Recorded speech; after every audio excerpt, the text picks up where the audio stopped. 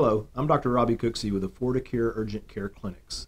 Affordacare is a chain of urgent care clinics located in west central Texas. We have locations in Abilene, Big Spring, Stephenville, and Wichita Falls. I am one of the owners and medical directors for the clinics.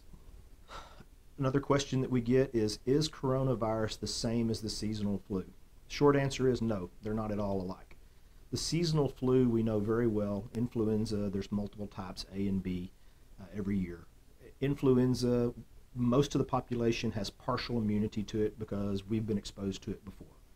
Uh, secondly, um, we have vaccines for it, we have medical treatments for it.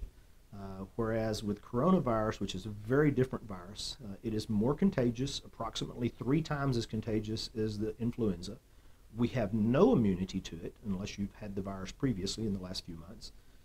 Also, it's more deadly.